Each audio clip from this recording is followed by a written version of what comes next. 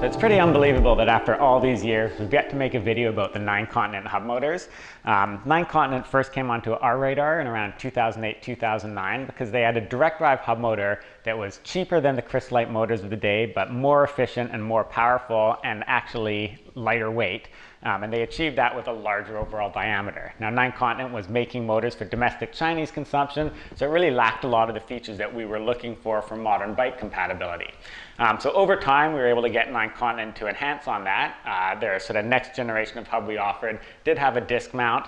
Um, it had thinner lamination, so the motor could spin with less drag when you were just pedaling it. It had compatibility with our stator Statorade cooling. And, uh, and that was a great set of enhancements, but it still had this annoying side cable exit, and the disc rotor mount really didn't fit well with the position of bicycle calipers on modern bikes. Uh, so in the last couple years, uh, we finally have the nine continent motor that answered all of the shortcomings of their previous generations.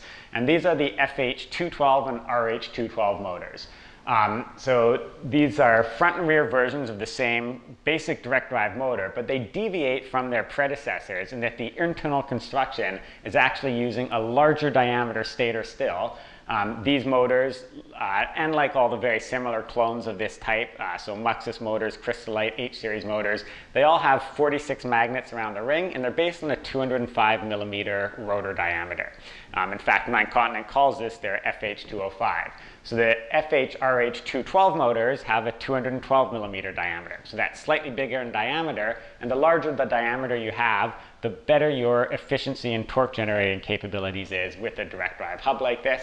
And in addition to that benefit from the larger diameter, they also managed to get the cable exit coming out of the side of the axle instead of the end, preventing the kind of mashed up damage that we would often see with their earlier generation of end cable. That also allows the installation of torque arms and axle hardware on both sides of the axle. You're not having to slide any uh, um, hardware over top of a large connector.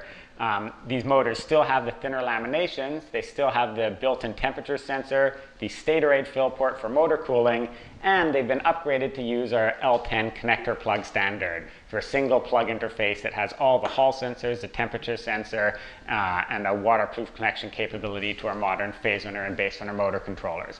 So if you're after a resilient and powerful direct drive hub motor, it's hard to top the latest FH212 RH212 series from Nine Continent. We've worked with Nine Continent seen their facility evolve to be a state-of-the-art high-volume production space, and they finally have a truly state-of-the-art modern hub motor to show for it.